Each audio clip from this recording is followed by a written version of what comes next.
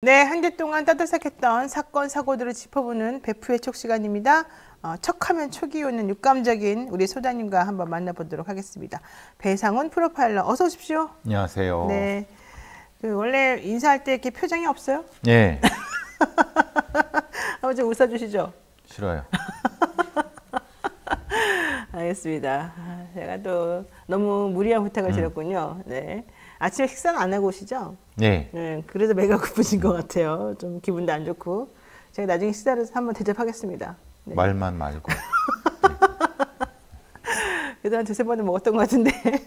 자, 한동훈 법무부 장관이 6.25 전쟁 기념식에 참석하던 도중에 휴대전화를 분실했다고 합니다. 어, 한동훈 장관 뭐 핸- 핸드폰이 엄청 중요하겠죠, 본인에게는. 워낙 이슈가 되는 중요한 물건이기도 했고. 또 상징적인 음, 게 됐습니다, 핸드폰은. 자, 신고를 받은 경찰이 뭐 마침 당직이었던 팀이라 그러면서 강력 사팀을 대거 쫙 투입을 해서 수색을 했고요. 그분들은 결국 못 찾았지만 그 장례에 참석했었던 재향군인의 시민 A 씨가 습득을 해서 어, 경찰에 갖다 줬다는 거잖아요. 근데 여기서 제가 궁금한 건 핸드폰을 본인이 잃어버렸으면 그냥 분실했다고 생각하는 게 일반적인 사람들의 생각 아닙니까? 근데 이거를 왜 남이 훔쳐갔을 것이다. 강력 사건이 벌어졌다. 점유이탐을 횡령으로 반드시 처벌해야 된다. 왜 이렇게 생각을 오버해서 하는 거죠? 음, 우리 장관께서는 그 강박증이 좀 있으신 것 같아요. 아, 강박증이 있어서 그럴까요?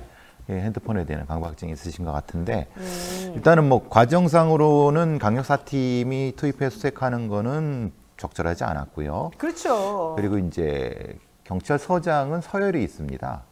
예, 서울 시내 경찰서장은 31개인데 1위가 이제 종로서고 2위가 중부서인데 지금 관할, 아. 관할이 중부서인데 네. 서- 순위가 바뀌었을 겁니다. 아마 지금 용산서가 좀 위로 올라갔는데 이렇게 서울경찰청장이 이렇게 앉아 있으면 이렇게 31개가 쭉 둘러왔는데 이제 가까이 있는 순서가 이제 배치가 되는데 옛날에 일제시대 때부터 있었던 관행인데 왜 이 말씀을 드리냐면 중부서의 이름이 무슨 그 서장인데 아마 기회라고 생각했을 수 있습니다. 무슨 기회요? 잘 보일 기회라고 생각했겠죠. 한동훈 장관에게? 예예예 예, 예. 아마도 근데 이제 그럴 기회가 많지 않습니다. 중부서가 실제로는 이제 사실 조금 좀 멀어지고 있는 음, 부분이기 때문에 그래서 이제 오버를 한 것 같습니다. 제 생각에는 왜냐하면 강력 사 팀은 강력계 형사들의 이팀 수는 어, 1팀이 살인이고 2팀이 이렇게 정해져 있습니다. 그러니까 그게 비면은 그 관할에서 사건의 출동 순위가 달라집니다. 그러니까 말하자면 함부로 인력을 이런 뭐 내가 쓰면 안 되죠. 당연히 안 되죠. 그거는 뭐 어, 부적절한 정도가 아니라 그거는 사실 처벌도 받을 수 있는 상황이 징계도 받을 수 있는 상황인데 어디 감히 강력 형사들을 유실물을 흐는데 합니까? 만약에 이게 대통령 휴대폰이면 모르겠어요. 그냥 국가 기밀과 관련된 부분일 수 있으면. 그래요. 근데 한동훈 법무부 장관은 그냥 일개 그 개인이에요, 개인. 개인의 휴대폰이에요. 근데 그거를 오버해 갖고 그걸 찾아달라고 하는 건 아무리 또 개인이 찾아달라고 해- 하면은 일단 지구대가 먼저 가죠. 그렇죠. 그 확인을 해 갖고 먼저 장내에 전화를 해서 아니 그러니까 저기 방송을 해서 이런 게 있다 이렇게 해갖고 절차를 밟아야지 어. 갑자기 강력경찰 투입된다는 건 말이 안 되죠. 근데 원래 이런 거는 만약에 경찰서에서 처리한다 그래도 생활안전과 이런 데서 하는 거 아니에요? 생활을 질서계에서 아. 질서계, 예, 예, 예. 예. 그러니까 일단 유실물 처리를 하고 네. 그리고 아, 물론 물론 가장 먼저는 112에 신고하면은 지구대가 와서 사정을 듣고 거기서 이제 가장 쉬운 건 뭡니까? 장내 방송하는 게 제일 그렇죠. 빠르죠. 예, 핸드폰 잃어버렸으니까 돌려달라. 이렇게 예. 돌려달라. 그리고 만약에 뭐 가져가시면 처벌받는다. 이렇게 순서를 해야 그렇죠. 되는 거지. 어. 어디 강력계 형사들을 합니까? 이게 그게 그 사람이 개인 마음대로 할 수 있는 인력이 아니에요. 그럼 이거 직권남용까지 갈 수 있는 거예요? 글쎄 그것까지는 모르겠지만은 내부적으로는 분명히 이건 요 감찰까지 가야 되는 수준까지 그래요. 합니다. 내부적으로는 형사적으로야 모르겠지만 형사적으로 이제 만약에 고소 고발이 진- 된다면 모르겠지만은 어, 경찰 인력을 함부로 투입하면 안 됩니다. 보통 강력계에서 하는 일이 뭡니까? 어떤 어떤 사건들을 합니까? 당직은 강도, 대기하고 살인. 있죠.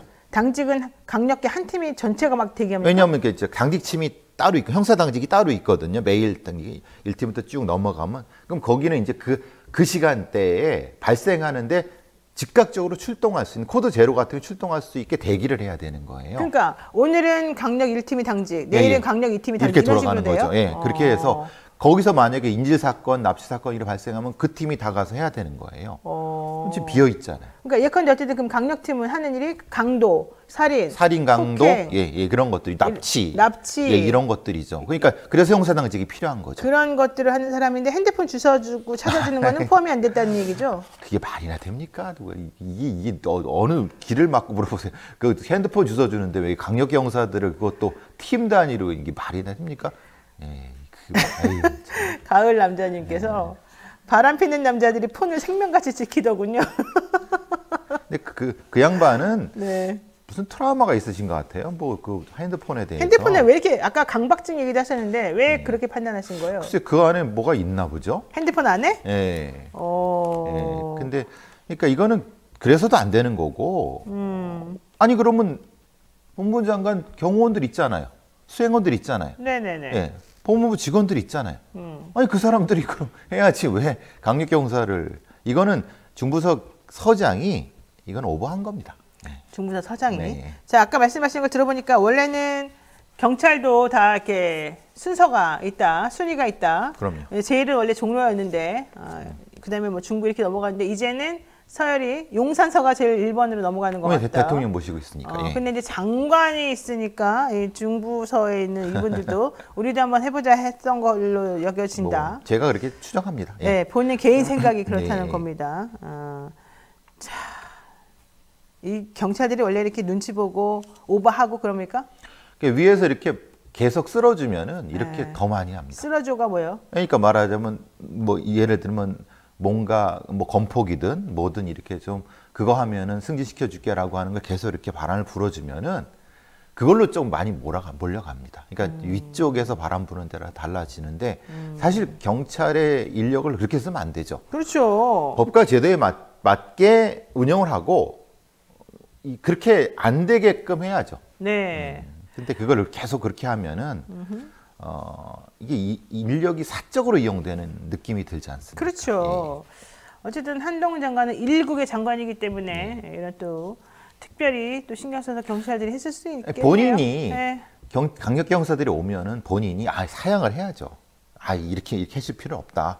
저희가 알아서 하고 문제가 있으면 하겠다. 이런 식으로 했어야지 일국의 장관들 그 법무부 장관이 법치에 맞는 장관이죠. 자, 이 얘기도 해보겠습니다. 아, 저는 이 사람 발, 발언- 발언 듣고 깜짝 놀랐어요. 박인환, 이 사람 검사 출신인데요. 경찰 제도 발전 위원장.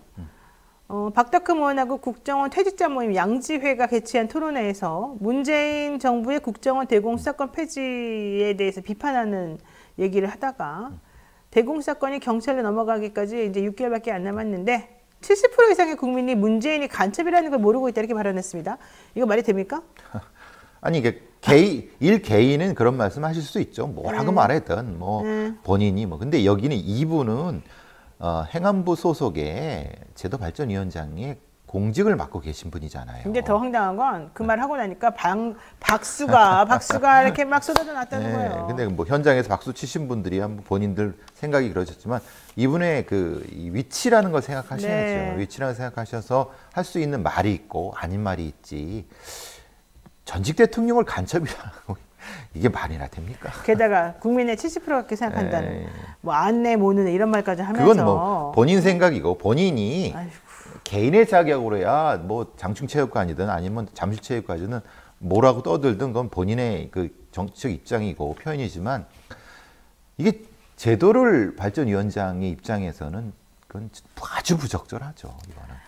자 박인환 씨가 지금 아마 조금 비판하고 싶었던 지점은 이거 같아요. 대공 수사권이라고 하는 거를 왜 경찰로 넘기냐? 이건 국정원 고유 업무인데 문재인 정부가 일부러 그 능력이 좀 떨어지는 경찰로 이 건을 넘기면서 북한을 도와주는 거다 이렇게 생각한 거 아니겠습니까? 근데 수사권이 어디에 고유라고 하는 게 어디 있습니까? 말하자면 그거는 적절하게 가장 잘할 수 있는 데에 배속시켜야 되는 것이 맞는 거고 네. 과거 국정원에서 대공수사권을 하다가 간첩 조작을 하거나 아니면 여러 가지 문제가 있었기 때문에 그렇죠. 것에 대한 반작용으로 경찰한테 이것을 해서 합의하겠다고는 국민적 합의가 있었던 거고 법에 정해진 부분이었기 때문에 한 거고 만약에 본인이 그렇게 생각하셨다고 하면 법제도를 바꾸는 방향으로 국회에다가 이건 뭐 해든가 이렇게 해야지 대공수사권에 대한 부분은 분명히 논란이 있습니다. 왜냐하면은 어디가 잘할 것인가에 대한 부분은 분명히 논란이 있을 수 있습니다. 그리고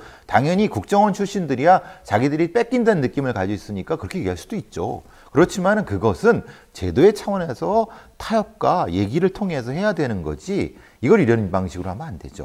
그러면 제가 궁금했는데 대공 수사권을 굳이 국정원에 안 놔두고 왜냐면은 지금 국정원의 이 범, 업무 범위 혹은 권한 범위를 되게 축소시켜 놨어요 문재인 정부 그렇죠. 때 그래서 국내에 있는 거에 개입하지 말고 해외에 있는 혹은 특히 북한 관련된 그렇죠. 그런 것들에 대해서만 집중해라 이렇게 이제 했었었단 말이죠. 그렇죠. 그래서 대공 사건 같은 경우도 그러면은 그 일환으로서 국정원이 해야 될 것으로 판단이 됐었는데 이것도 아예 그냥 경찰 넘긴다는 거야. 지금 경찰에도 너무 많은 걸 지금 몰아주고 있잖아요. 그러니까 아, 이거 좀 너무 심하다는 생각도 솔직히 들었거든요. 그렇죠. 그러면은 문재인 정부에서는 왜 그렇게 너무 모든 걸 경찰로 넘기고 이런 어, 경찰들로부터 불만이나 혹은 국정원으로부터 불만이나 이런 걸 일부러 야기한 겁니까? 왜 그러냐면 네. 정보기관과 수사기관을 분리하고자 하는 대원칙이 있습니다. 아 정보와 네. 수사를 분리하자. 왜냐하면 미국의 FBI에서 FBI 국장이 종신 국장이 있었습니다. 그렇죠. 그 굉장히 위- 위험한 종신. 네. 종신으로 네. 사실 종신 국장이 말이 안 되죠. 그쵸. 근데 이제 그 사람이 그때는 미국 FBI 정보를 같이 다뤘습니다. 음. 그게 어떻게 되냐면 이 사람이 정보를 조작해서 사건을 만든 겁니다. 음. 그래서 이제 그것에 뭐 음모론도 있지만은 뭐 네. 케네디 대통령 관련된 부분도 있지만은 어쨌든 그래서 FBI 국장의 임기도 만들고 정보 기관을 아예 떼어낸 겁니다. 네네. 그게 그게 CIA가 되는 거죠. 네. 왜 그러냐?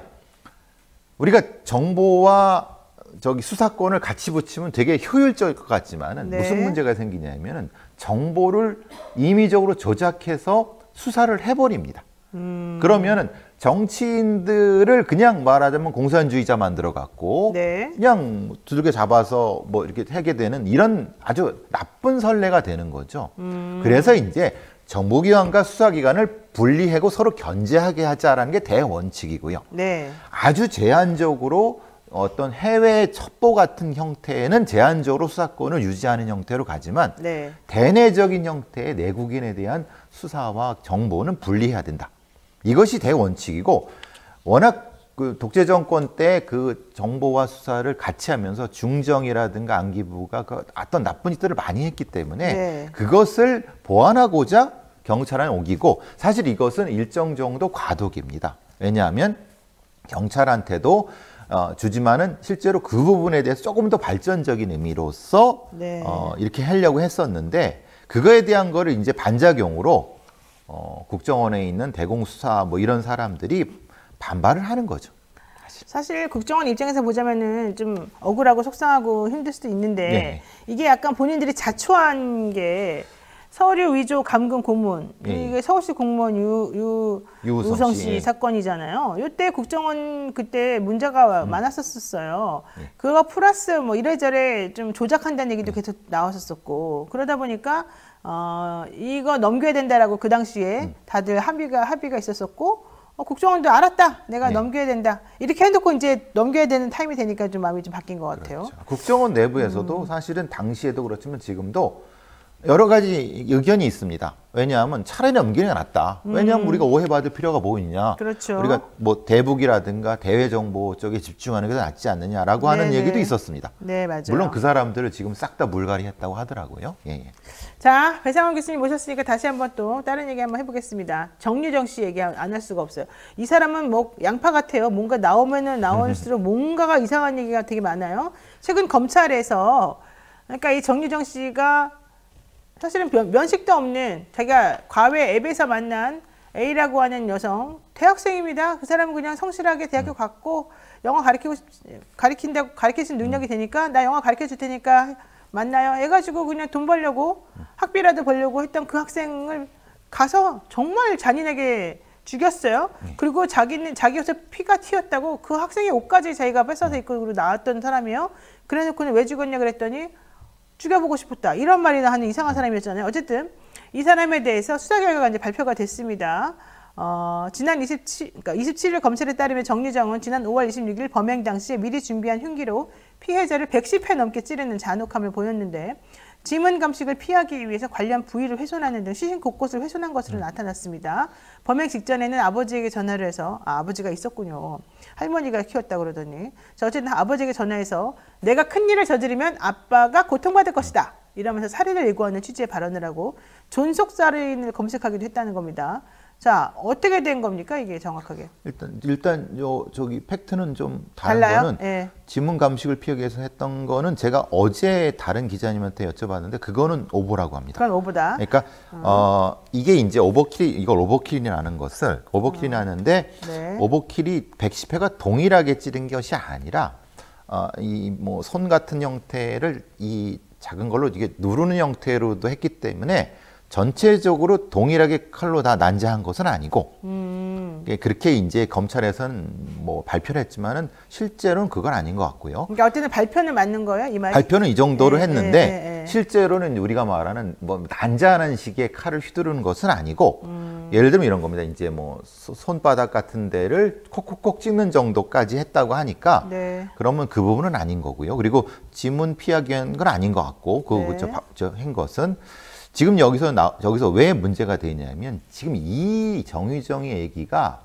어, 실제로 팩트에 맞느냐 아니냐에 대한 부분이 좀 논란이 되고 있어요. 왜냐하면은 에, 정의정이 분명히 그 자기 아버지, 그러니까 아버지가 뭐 사실 자기를 버리고 뭐 재혼도 하고 뭐 그런 과정이 있었다고 네네, 하네요. 네. 그래서 그 부분 때문에 어, 이 자기 아버지에 대한 분노가 다 제3자한테 나타난 것으로 지- 경찰은 예, 겨- 아니, 검찰은 결론 짓고 있는 것 같고요. 음. 근데 그런 기에는 지금 오버킬의 양태가 좀 다른 것 같습니다. 그러니까 제가 보기엔 사실 뭐 이건 추정이지만 네. 정의정의 이 말은 거짓말 같습니다. 자, 한 살 때 엄마가 곁을 떠났고 여섯 살 때는 아버지에게도 버림을 음. 받아서 조부모 밑에서 컸다. 이 때문에 아버지에게 분노의 감정을 가진 것으로 보인다.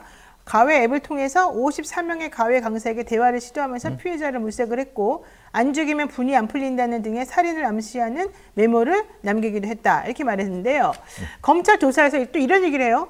분명히 피해자를 죽였는데 살아나서 나에게 말을 했어요. 나 정신감정 좀 해주세요. 음. 이랬다는 거예요. 이거 무슨 말입니까? 그러니까 이제 자기는 분명히 죽였는데 다시 일어나서 자기한테 말했다라고 얘기를 했다고 해요. 그러니까. 그냥 말하자면 뭐 그렇게 얘기할 수는 있죠. 자기가 심신미약 상태라는 걸 알리고 싶은 그러니까 거예요? 이제 왜냐하면 이제 자기가 통제가 안 되는 사람이다라고 어. 얘기를 한 것 같고 그래서 이제 이런 얘기를 한 것 같습니다. 그러니까 이제 이런 경우도 가끔 있거든요. 왜냐하면 마치 이제 자기가 한 것이 내가 한 것 같지 않아요. 해다 보니까 내 손에 칼이 있었어요.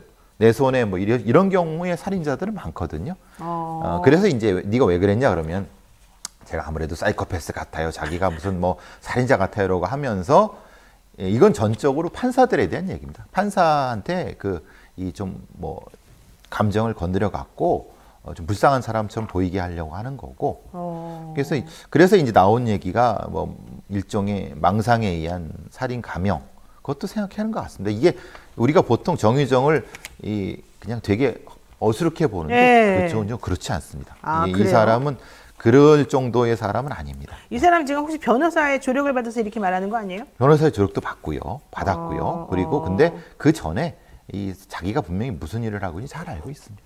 예. 하, 진짜 왜 그럴까요? 뭐 좀 진짜 사이코라서 그럴까요? 아니 그렇지 않습니다. 이제 제가 몇 번 얘기했지만은 이 사람의 점수가 뭐 26점, 27점이라고 하는데 네. 그렇지 않습니다. 이 사람은 그거보다 네. 훨씬 나- 많이 나올 겁니다. 그리고 훨씬 많이 나온다고요? 예, 사이코패스 점수는 그렇게 하는 게 아닙니다. 어떻게 하는 거예요? 그러니까 소수점 26.3이 나올 수가 없는 거고요. 아. 검찰에서 뭔가 잘못 알고 있는데 그리고 어, 이 대충 한 20에서 27, 8, 9점 사이가 잔인하긴 제일 잔인합니다.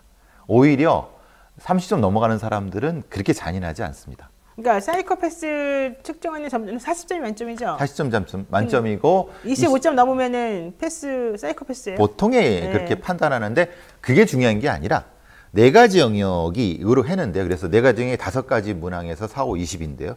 0, 1, 2 척도를 가지고 있는데 이거는 이제 자기 자기 반응 검사가 아니라 물어보는 게 아니라 검사관이 판단하는 건데 음. 중요한 거는 이 네 가지 영역 중에 어디가 주요하게 점수가 튀는가의 문제인데 대략적으로 이거를 내 보면은 28, 8, 9점짜리들이 잔혹하긴 되게 잔혹합니다. 근데 30점 넘어가는 애들은 예, 그런 그 저기 그 사이코패스들은요 지능적입니다.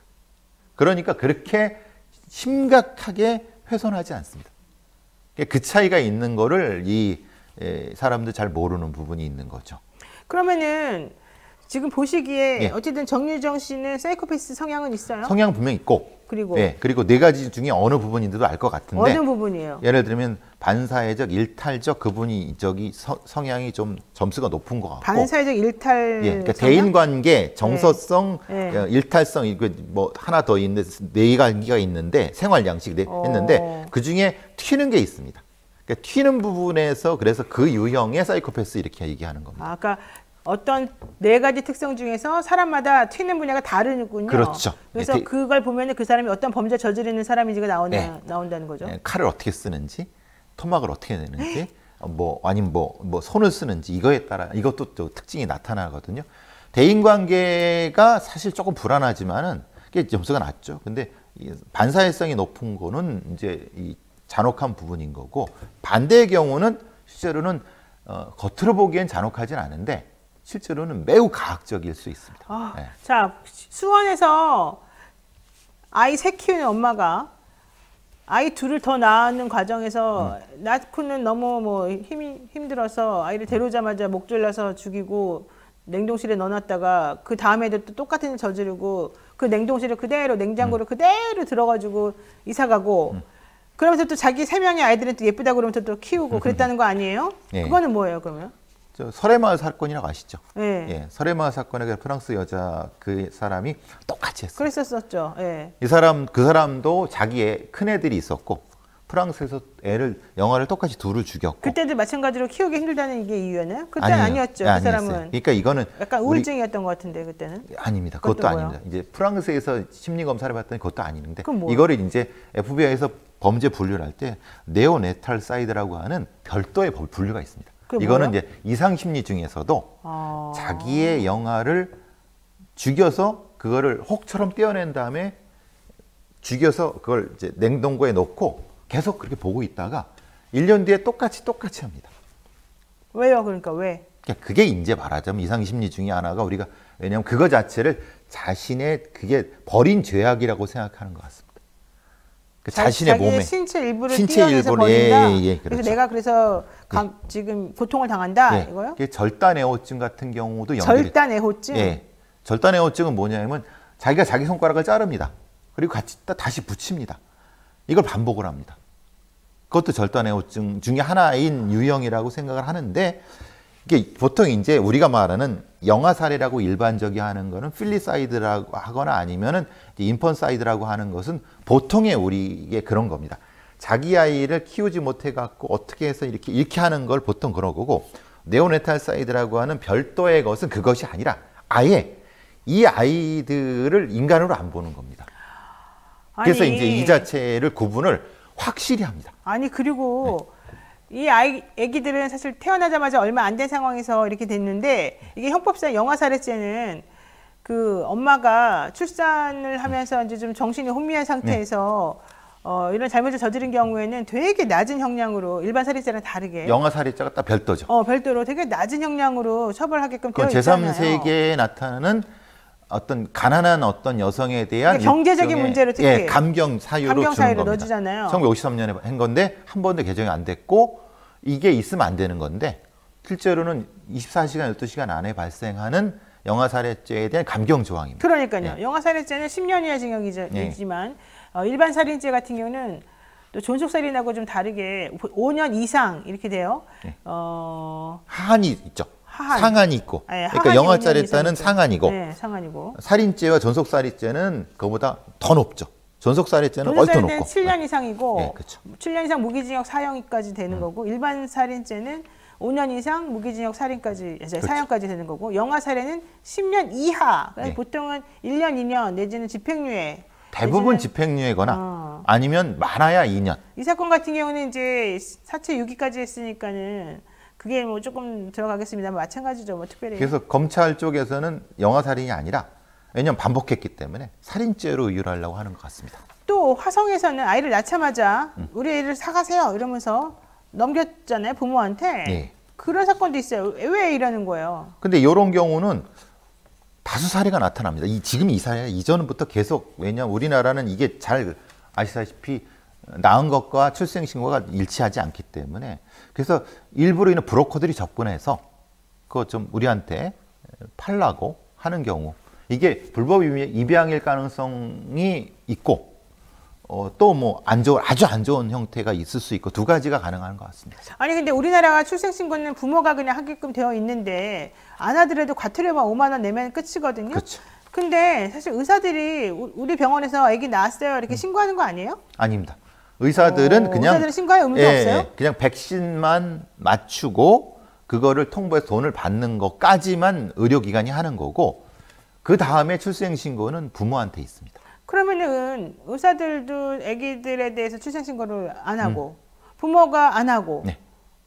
그러면은 그 아이들이 그 그냥 아이들은 유령처럼 사는 거네요. 그렇죠.